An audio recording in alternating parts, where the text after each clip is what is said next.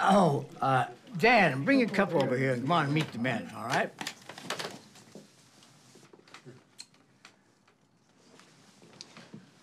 Got a special guest this evening, Daniel Topler.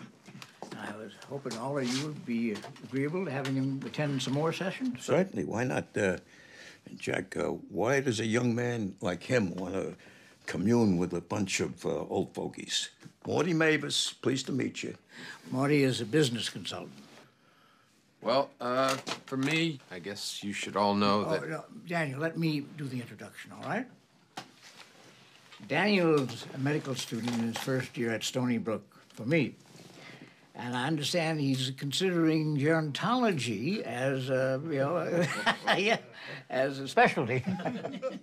well, I figured if he met you old guys, I mean, I could possibly discourage him from that. So, you're going to be a doctor, is that it? Well, I've been a trader for almost 40 years on Wall Street, and very successfully, too, I might add. I left my firm last month. Well, I'm Rob Vitriol. They asked me to stay, of course, but for what, I ask you? Well, I think. I can trade just as well at home now with the internet, and my time is my own. I mean, do you see what I'm getting at? Yes, you only bore yourself now. Glenn here. Tracy Auspitz, nice to meet you. Uh, Tracy was a former deputy administrator for the EPA. Helped draft the U.S. Clean Water Act back in the early 70s. No kidding. Well, thank God we got some good guys in government. well, it sure ain't the majority in Congress. Well, I see Sam Blotkin as being his usual cheery self. His computer programs designed the Verrazano Bridge. Harry Rosenthal. Harry is a former musical director of the Metropolitan Opera. Yeah?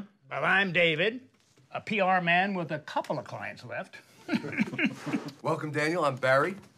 No longer the youngster of this group. Only 60, a baby. But despite his youth, he's a famous classical scholar. Well, now that that's taken care of, uh, what should we begin with first, huh? Well, let's huddle on our main nemesis, our children. Yeah. Don't get me started talking about my child, Chucky. I mean, he's so infantile. Now, I can't speak to him, or even my granddaughter Carol anymore. We used to get together for granddad to granddaughter times. She won't say two words to me now. He's getting divorced, and he's still living at home. It's terrible for Carol. I mean, she's caught between her parents. You can't help. No, I can't help. He's my son, Carol is my granddaughter, and I can't help. I can only watch. Well, at least we're lucky we all have children we can rely on. I don't have any children I can rely on. Morty, you got two grown kids. If you're in trouble, you call them. You, Jack, you. I'll call if I'm sick, not my children. I hardly talk to them now. You all remember when I got bar mitzvah again? You all were there. Yeah. My kids couldn't believe a hundred people showed up. they thought they would be the only ones who would be there. There's your sister you could call if you were ill. I haven't spoken to her in over a year, and forget about my ex. Not on speaking terms. Thank God there's some